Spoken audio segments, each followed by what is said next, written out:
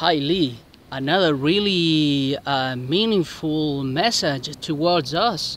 Uh, thank you very much for sharing it with us, because uh, we um, we always uh, should have ha- have into into account uh, this really meaningful message, which is acting with boldness, right?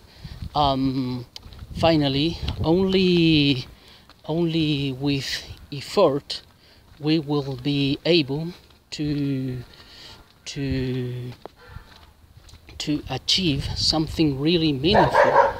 Um, there is there is an, an expression uh, that says, "Who doesn't take the risk doesn't cross the river," right? So uh, that's really important.